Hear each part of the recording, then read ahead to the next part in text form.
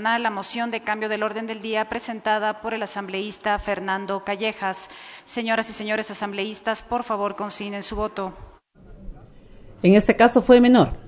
En la primera votación fueron 125 lo que se registraron, ahora son 124 y con las mismas cuatro opciones. El voto positivo, acá lo identificamos con el color verde, el voto negativo, identificado con el color rojo, la abstención, que tiene el color lila, y el voto en blanco, obviamente con ese mismo color.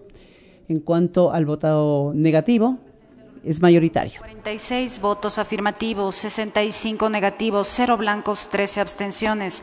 No ha sido aprobada la moción de cambio del orden del día, señora presidenta.